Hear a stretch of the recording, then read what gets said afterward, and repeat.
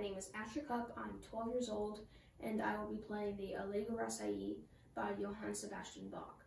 When Bach was 10, he lost both of his parents, and his brother taught him to play the organ.